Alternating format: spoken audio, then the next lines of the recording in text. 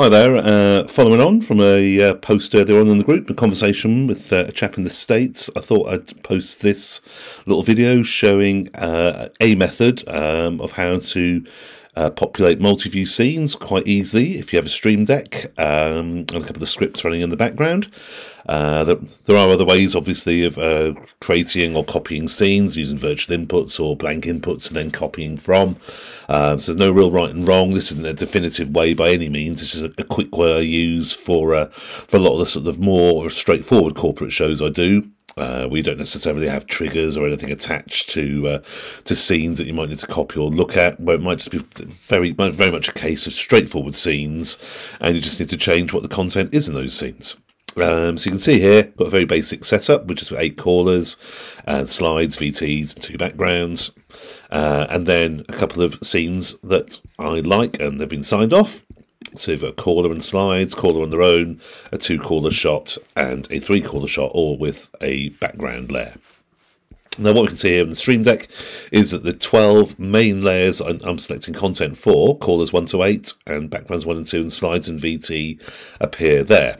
Um, and then what we can do is choose uh, a selector layer and then assign it to a multi-view layer element. So in this way, we can say, well, I want input 2 to be on multi-view layer 3. So I'd select layer 2 and put it as multi-view layer 3, etc., uh, etc., et and then you can populate the lists. Now, what we might want to do, if say, for example, is we have, say, caller 1 and slides, we might want a scene where it's caller 2 and slides. So, as I say, there's other ways of copying that to a new slide or a new scene. Uh, there's various different ways. No right and wrong, but this way, what I do is I use the hover function. So I can copy a hover scene on this button here, and then any scene that I'm hovered over, when I press that button, it'll create a new scene, it'll rename it, and put it into preview. So once it's in preview, I can then change what the content is. So we want the, so background one is multi-view one, that's okay on the background, but we want to put multi-view layer two, to be caller 2 now. So I can select 2 and caller 2. So 2 and caller 2. And you can see there now it's caller 2 in slides. Or if I wanted caller 3 in slides, I could go 3, 4, 5, etc, etc. But I'll put it back to 2. And we can see there we've created a state that is 2 in slides. So likewise in this one here, we have two shot that is callers 1 and 2. Uh, we might want to have callers 2 and 3 together. So again, we can just copy that scene there it repopulates it, loads into preview, still with the same settings that we had before. It's got callers 1 and 2, but now it's in preview. We can say, right, okay, multi-view pip 2, we want to be caller 2, and we'll send caller 3 to pip 3. So we've got callers 2 and 3. Again, we can just do this again if we want to create one that's got callers 1 and 3 in. So we can just hover over that, create a new scene, and very easily say, right, caller 1 goes to multi-view 2. And now I've got callers 1 and 3. So quite quickly, we've created different copies of that and populated with the same information. Uh, so we might get a situation where we, now we've got one in slides and we've got two in slides. We might want to do three in slides. So I'll just hover over that, press the button. It gets populated there. We can change this now.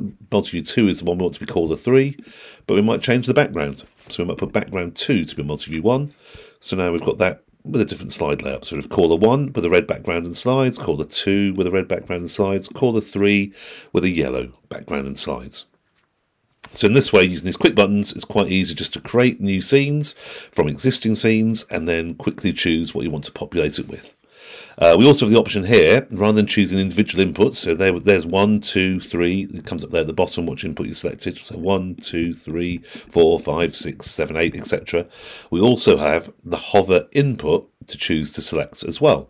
And then we select that, that populates that with minus three, which is a variable vMix uses to say that you're uh, looking at whatever the input selected is what you're hovering over. So in this one here, we might want, say for example, not to use any of the 1 to 8, two backgrounds or slider VTs. We might want this colour bars test that could be a holding logo or a still or a bit of information or something that's not used often that we don't need to have all the time and, and use up too many buttons if you've only got one Stream Deck um, you might only be able to sort of have 12 here that you use all the time. If you've got two, then the world's a bit more, a bit more of, of your oyster. There's no real limit. But you also got this function here, hover input, where we can choose whatever we're hovering over and select that by pressing the relevant multi-view there.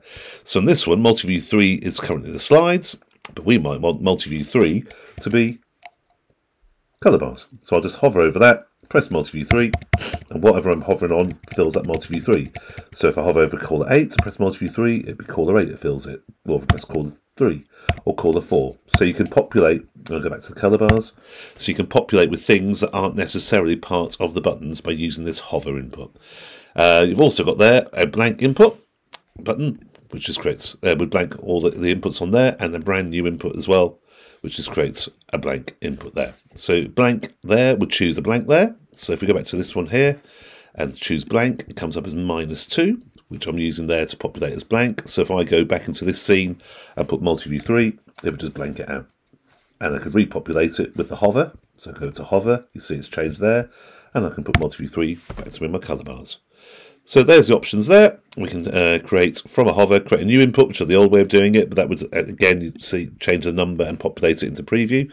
So if I create a brand new input, it now becomes scene 23 and loads it ready to populate.